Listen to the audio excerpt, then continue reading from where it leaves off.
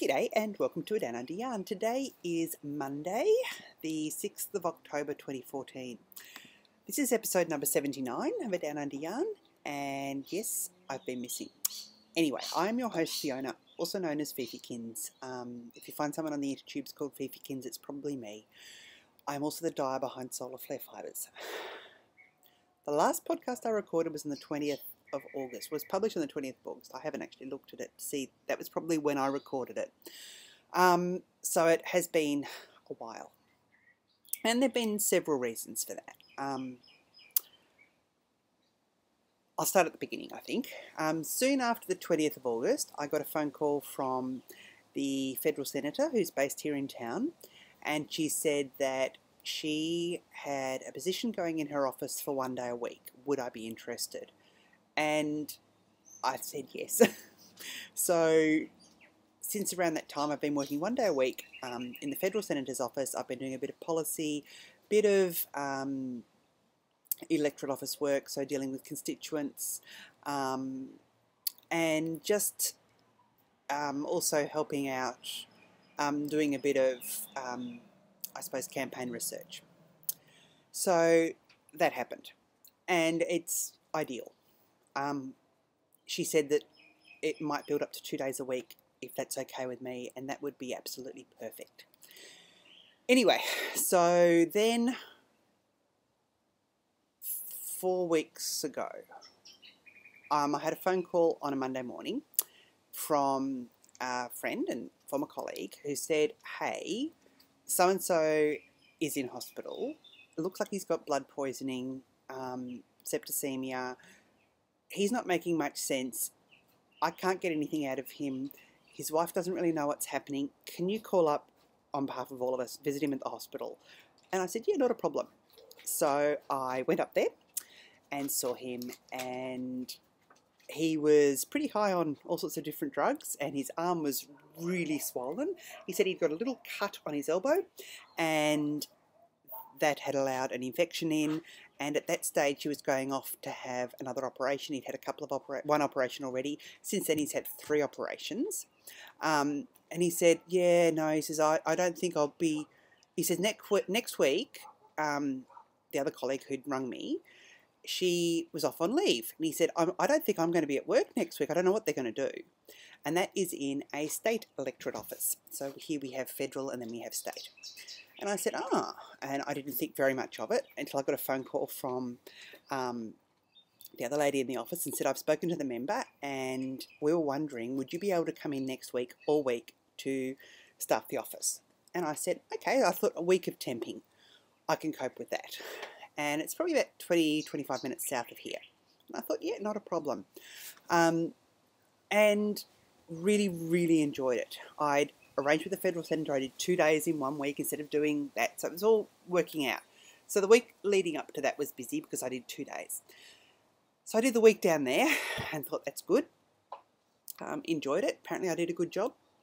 Um, and it was the dealing with mainly dealing with constituents and helping them out with their issues. So um, things are divided here. We have local politics, state politics, and federal politics. And state politicians generally deal with health, education, housing, um, child services,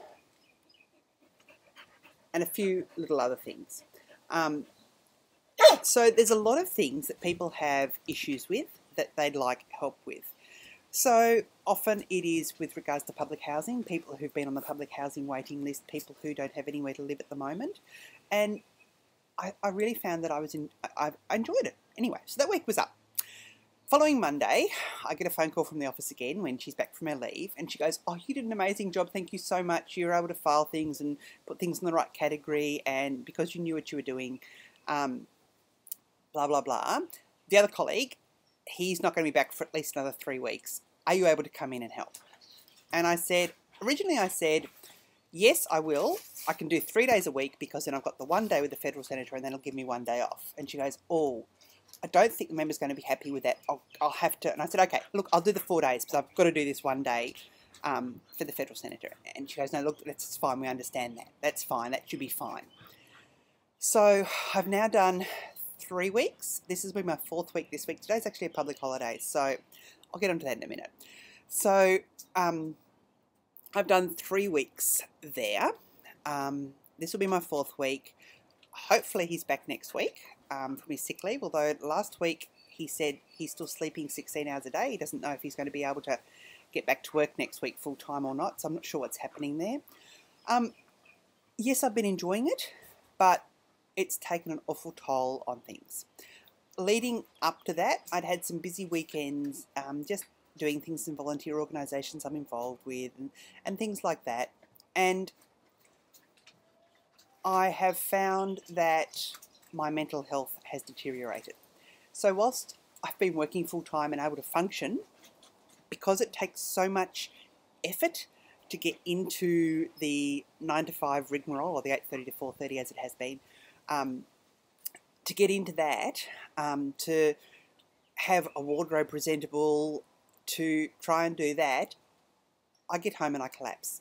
Um, and I, I haven't worked in an office environment full time now for almost two years.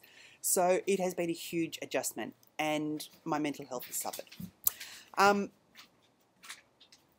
so much so that just having to focus on that um, and do a good job at that has meant that I've been an absolute failure with regards to knitting and with regards to the business. And that really upsets me.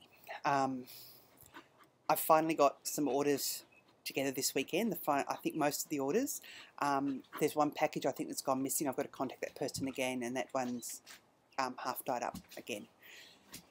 But I, I, can't do any dyeing during the week, and on the weekends, and I'm trying to catch up with things that I haven't been able to catch up with during the week. So it's been it's been a challenge. Um, Mill's been fantastic through this, the amazing man in my life. He has been exceptionally encouraging. And I will admit, getting a paycheck has been amazing.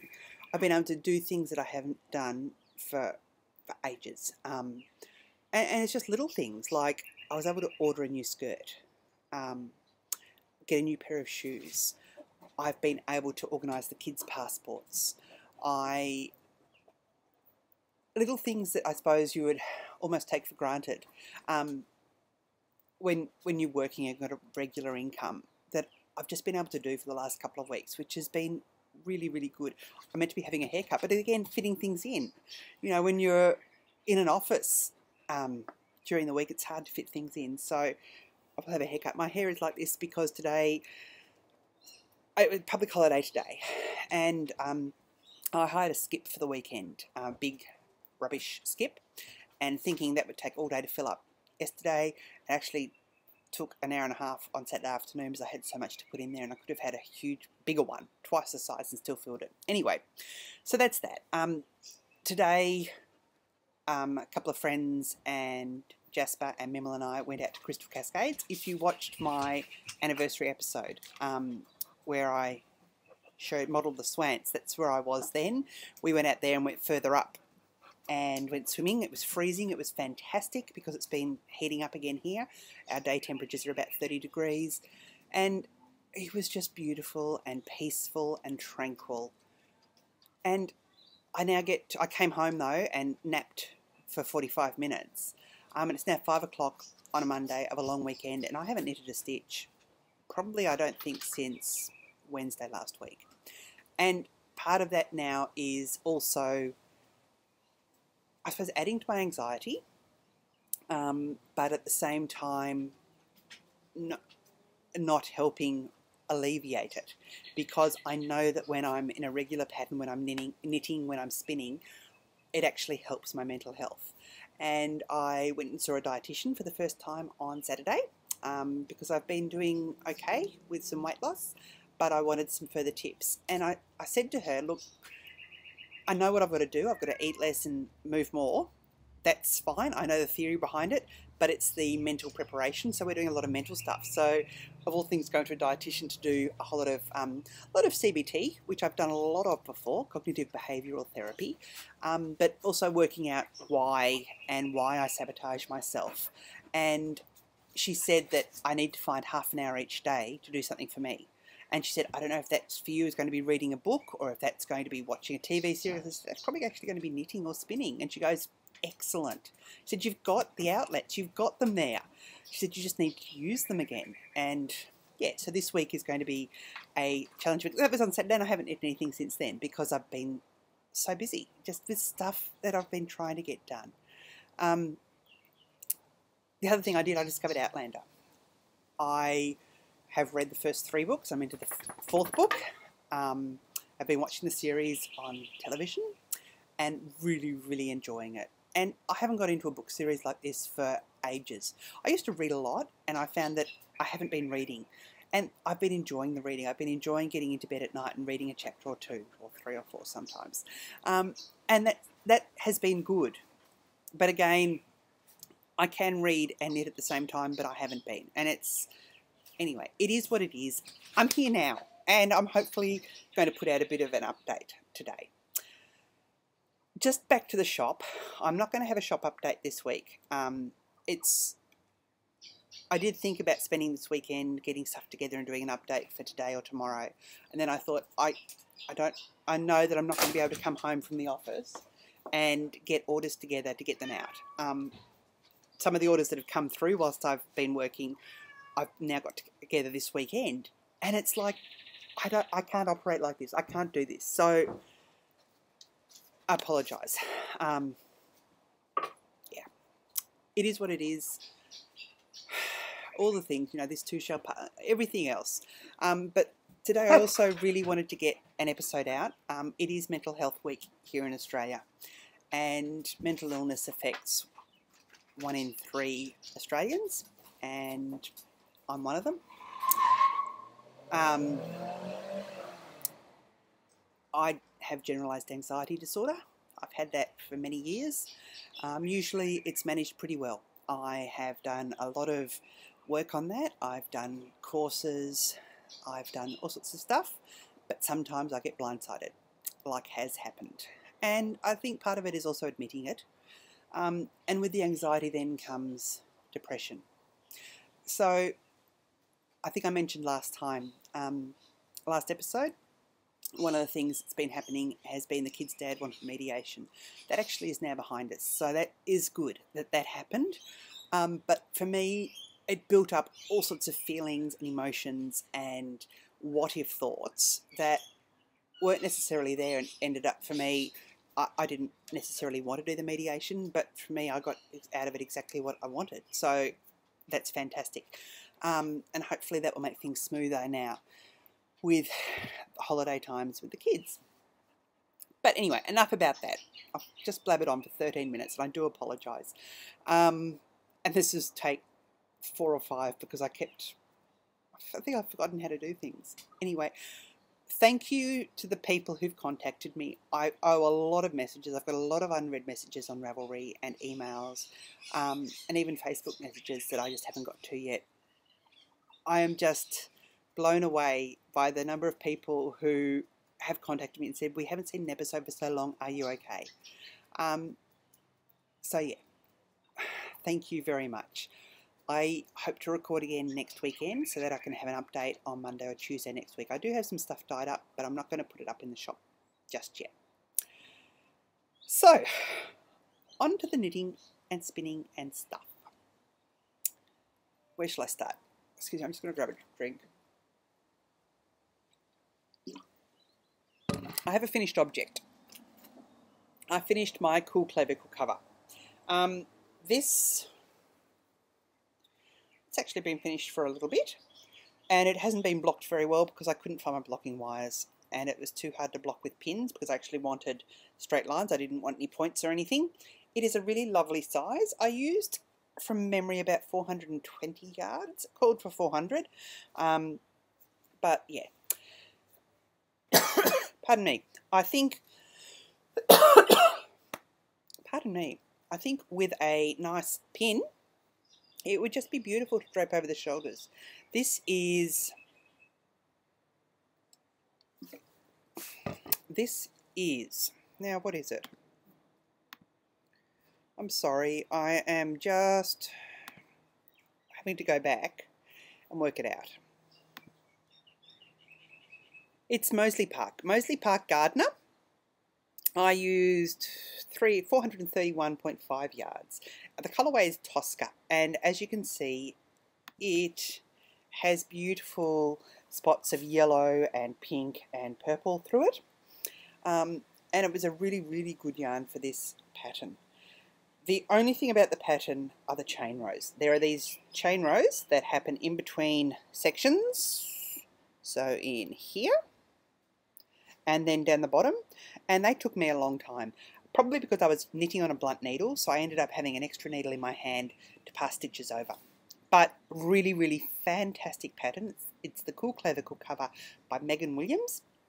And it's designed to sit over your shoulders over a summer dress and I think it'll be perfect for that. So there's that. Um, I had intended to give it away in a swap package but then I'd reread my partner's questionnaire and I thought I don't think it's the most ideal thing for my swap package and then I get to keep it. So that's really quite nice. I'm quite pleased with it. So I really am happy with this. And I, yes, I would definitely knit this again because as I say, it is a fantastic pattern for variegated yarn. So, there's that. Works in progress. I have, I think I've got three that I wanted to show you. And, you know, there's been, I don't know how much progress or what's been happening. So, I have, I've even forgotten the names of half these patterns. How's that? I have my tubularity. Now, tubularity is a Martina Behm pattern. For those who've been watching for a while, I, when I was at the Zombie Apocalypse, I collected all the Zombie Apocalypse colorways this year with a couple of other people and we divided them up. So I have been using those colorways for this pattern. So, I started with Marigold Jen in the Undead Winifred colorway, went into the Dancing Dog Dye Works in, I think it's Zombie Party in Rochester, well, that might be another one. I can't remember. Anyway, um, that one there. That is a Feel an Attack of the Dumb Blondes coming on by 716 Knits.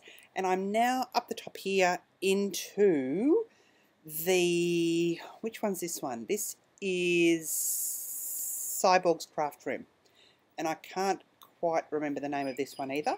But, again, really enjoying it. And I've probably done about an inch on that. So, that is that.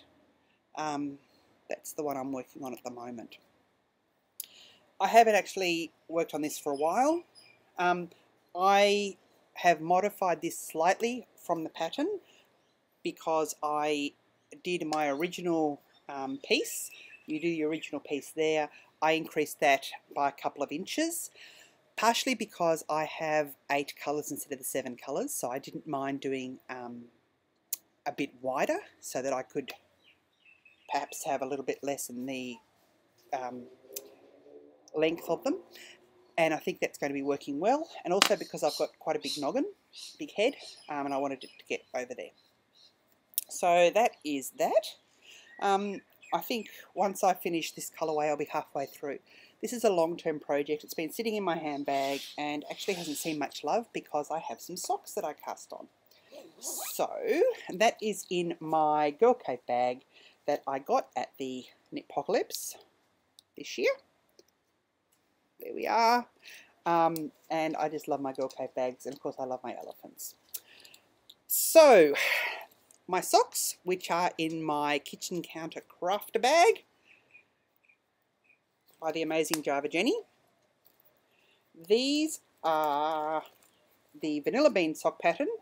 I actually haven't done as much as I thought I'd done, so I really need to get onto these and I've got some drop stitches here because I do this every time. I put them on the needles and put them in there instead of putting them on the cable. Ooh, where are we? I'll have to count these in a minute. Sorry I just need to pick these up and work out where I'm at I can see that I'm actually changing colour. Anyway, um, so these are the Vanilla Bean sock, Vanilla Bean socks by Emily, Watch Us Watching Emily.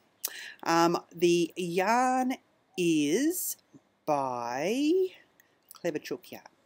And I don't believe she's dyeing at the moment. I'm not sure if she's dyeing again. The other thing, I am so behind on podcasts. I don't think I've watched a podcast in five or six weeks. Um, today I went through and marked a lot of them as watched because I just know that I'm not going to get there. So if there's anything I've missed, please let me know. Um, the only thing I have watched was Silly Fru's update, so my heart goes out to her at the moment um, as she's going through her treatment. Anyway, these this is a five color stripe, so it's hard to tell on the monitor, but these two are actually different, and these two are actually different. And then there's that beautiful sort of um, yellowy green in there as well. Really fantastic pattern and it's working well. Of course I'm doing them two at a time, magic looping them. I have two balls of yarn and I made sure I started in the same place. So I will probably do, still got my little koala in there. I will probably do a fish lips kiss heel on them. Um, I'm not sure when I'm going to get to the heel because I need to get going with them. And move on with those. The other thing I have been working is I cast working on is I cast on my boxy. Um, and this is not going to be finished for the knit along in the Aussie yarning group. I know that. Or is that even over now? It may even be over. But hey, I've cast it on. Um, so this is the boxy by Joji Locatelli. And I am using the Tonofwool Cormo in the beautiful grey. It's a four ply um, in the most uh, gorgeous grey. It's a natural colour in that it's blended the um, brown wool with the white, but it produce, it's produced, it's a browny grey, and in the um, skein, it probably looks a bit browner than it does here, but it actually comes up as being quite grey. And I love it. It is so soft and so beautiful to work with. Um, oh, and it's just going to be beautiful. So whilst our season has totally changed here, and I probably won't be wearing knitwear, um, the other thing that's probably happened in the last six weeks that you may not have heard about is Imogen's being given a scholarship to go to Japan um, for five weeks over Christmas as part of the Australia-Japan Society, representing Cairns in one of our sister cities, which is really, really exciting for her. And my mum said to me, well, would you and Jasper like to go over um, for a week or so in Tokyo um, as your Christmas present. And I sort of took thought about it for like, well, you know, half a second and said that would be fantastic. So I'll probably get a bit, a bit of winter and I will need a jumper. So hopefully that will be done by then. It gives me something to work towards as well. Um, so nothing's been booked yet. It may not even happen. I don't know. Anyway, that is all that I've really been working on. And when I say working on it, I don't feel I've done a lot. Acquisitions wise, um, I think the stuff that I'm showing, I'm pretty sure I've probably had some things come through from um, Into the Whirled and Highland Handmades, which are the two clubs I'm doing at the moment. Um, I have one from each of them to show you, but I think two have come through, if you know what I mean. Anyway, I have the September Into the Whirled, which is on the rocks in English Shetland. So I'm not going to get down to the bag, but it's greens and golds on that side and blues on that side. Blues and, yeah, sort of a dark grey, I suppose, as well. Um, it's English Shetland. I'm probably going to destash this. I've got to go through my fibre and work out what I'm going to destash because I have too much. I also have a um, delivery from Highland Handmade. This is from the beautiful postcards from Maine Club and this is Fort Knox. How about I hold it up the right way? And I just love the postcards that have been coming with this as well.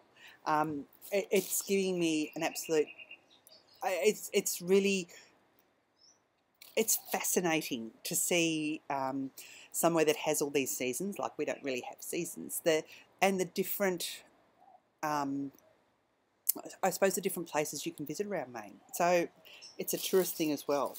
And this is called Stalwart. And it is beautiful. Look at that. Um, and this is beautiful greens and greys in the white ash worsted, which is 245 yards. And yeah, it's single ply yarn. It's either going to become a hat or probably even some mitts. Not sure on that one. Um, I'm not sure. Might even become a cow. The other thing I kind of ordered, um, the amazing Charlie from Ixchel Fibres and Yarns. which is ixelbunny.blogspot.com. Her updates, she does them through blog posts, um, puts it out on Facebook, puts it up on her blog post, and then sits by her computer while people email her. And she did an update where things beautifully presented as well. And I got something else that was so love, so lovely, so beautifully presented, and I can't remember what it was. So if I do come across it this week, in time for next week, I'll let you know. Um, so she did an update of what she called her Bunny Bison Bliss. And at the time I thought, oh, I'm not buying any more wool. But when this came through, it was bison, and bison isn't wool, wool, sheep's wool. So this is 15% bison, 10% Angora, 10% baby camel, camel 5% cashmere, 50% merino, and 10% tencel. So these are 50 gram um, braids. And she, when she had the colours up there, I when I I've only ordered from her a few times online like this because I love catching up with her at Bendigo. And I said, look, I'd like A, B, or C. And she got back to me and she goes, looks like you've got C. And I said, that's fine. Look, any of the colours you've got in there today, I'd be happy with them. I really would like two braids though, so I'd prefer to spin 100 grams. And then she came back 15 minutes later and she goes, I'm all confused. She said, You've got A. And I said, That's great. So I have Pink Panther. And here it is. Oh, and it is just so soft and luscious. And you can see there the bits of tencel that are sort of around there. Just, where are we? There. Um, the, oh, yep, so I really am looking forward to spinning this. Um, that is the other one. So I got two of them. I got two of the same. I did think of getting one of each, but then I'm so glad I've got these. So I'm not sure what they're going to become, but I will two-ply them. And speaking of spinning, I do have some spinning to share. Um, early September, we have the Carnival on Collins, um, which is the big festival in Cairns, big street uh, market and the fibre crafters were there and I was there as well with the fibre crafters and so I was able to spend the whole day spinning and it was just amazing. I took some yarn along, wasn't expecting to sell any, didn't sell any. Um, had a couple of people talk to me about it though, which was good. So that, you know, things like that. Um, September in Cairns is a wrong time to be thinking about knitting for a lot of people. But sorry, here's my bobbins. Still on bobbins because I haven't um, applied them yet. This is what I was working on originally. This is the Polwarth by, who was it? Zarzuela Fibres, I believe. And that, that this was in the close, We're Closing Shop um, update. And it was all beautiful greens. I spun it all into one bobbin and I'm going to um, chain ply it. I got through that. I had over half of it to go. And it was spinning, I mean, it's fairly thin. You can see there how thin bits of it are. Um, and I got through that, and it was, um, I got through spinning that probably just after lunch. And I thought, I don't want to apply it. I didn't actually bring my Lazy Kate, and I thought, mm, yes, I could get a stick and put it through there and get someone to hold it for me, but I just didn't didn't feel like plying it there. I would have preferred to rest it anyway. I did take with me another braid, and I thought, I'll split this one down the middle. Now, this is Yarn versus Zombies. This is Corriedale in the bushwalking colourway. There you go. You've got it. That is a fantastic representation of the colourway. And this was absolutely to die for. I got through half of it, and I knew I wanted to spin it a bit thicker. And I, my original thought was I'll just two-ply it. Um, and then I got through half of it, and I was really enjoying it. I didn't have another bobbin, and I thought I've really only got three bobbins, so I can't spin it onto the other bit because I've got to ply the other one. And then I thought, why not just spin it all onto one bobbin, and I will chain ply this one as well. So I've still got to chain ply this one. My plan this evening is to get the wheel out and do some plying. Um, but this is just a really, really beautiful blend of colours. I tried to do this a bit thicker, and with the chain ply, hopefully I'll get a bulky weight, and that can become probably a hat. Um, no idea what the Polwarth's going to become once it's chain plied. So I haven't actually done any spinning since this. I need to get these plied up. I think I still have four or five braids to spin for Spin the Bin for this year. And I did say at the start of the year if I hadn't finished spinning them, I was going to be giving them away. Um, I know... Let me just quickly bring that up because let me have a look and see exactly what I have left to go. So, the bushworking is almost done. I've got a burnished bat, that one's done. I've got some Portuguese merino to spin. I've got the zombie bites I was going to do on a spindle, and I've got the skein in the brush. So I've only got one. Once this is finished, one, two, three, four. Oh, that's that's totally doable. That's fantastic. And the zombie bites I was going to spin on the um, spindle that I've got last year. I'm not even sure if I'm going to do that now. I might even substitute those. You can substitute with two more. Um, so if I take that one out, that would give me five more things to spin. What are we now? October, October, November, December, three months. That's doable. I will see. I might even, I might even do that. I don't know. Um, I know my yardage is down I think I'm going to knit about half of much, half as much as what I knit last year. But I also have a lot of things to go. Um, in the last podcast, I talked about doing stripy uh, sock September or something, whatever I was talking about. That never eventuated. So um, I'm going to definitely do the Gunner Knit Along in November and December. So the Gunner Knit Along is, you know, in the start of the year when you say, this is the year I'm going to actually do something where I'm going to steek something. Or this is the year I'm going to actually master um, stranded colour work or cables. Or I this is the year I'm going to knit five Christmas presents for my co-workers or I'm going to knit some charity beanies or I'm going to do something. You know, you have these grand plans at the start of the year well, the Gunner Knit Along is going to give people an opportunity to either finish up what they something they've started, um, or to do something. And for me, last year when I did it, I wanted to do some stranded colour work in a hat. I did that. So I was able to have that achievement. Um, I'm pretty sure my goals this year were to do with knitting socks and things. I've got to knit some more socks. Once these green socks are finished, it's Mimble's birthday in a couple of weeks, and I usually give him socks. I still haven't finished his socks from last year. So I can finish that for him and then get some other socks on the needles for him um, because he does like his hand knitted socks. He wears them to work every day, even in summer, because he says they just absorb the sweat and everything. Um, and I've got a whole lot of stuff that I want to get finished and get off the needle. So my gunner is going to be to get my queue down, uh, to get my works in progress down.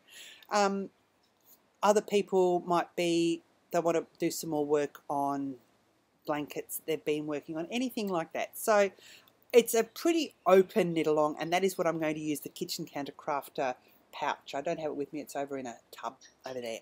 Um, that is going to be a prize in that.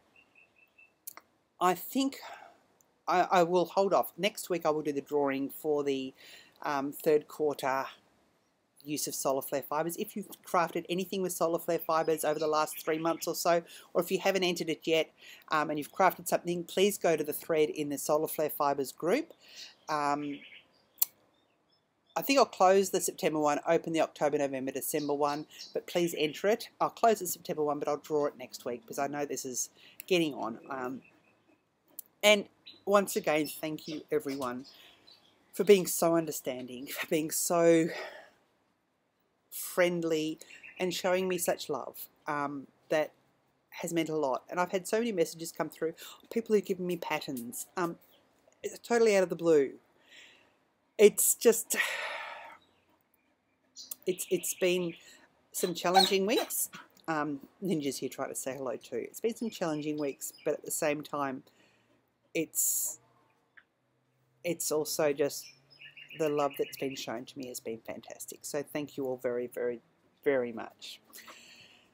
I will record, um, if not next weekend, it'll be next Monday because I will have an update Tuesday or Wednesday next week. Probably Tuesday, I don't know when it will be.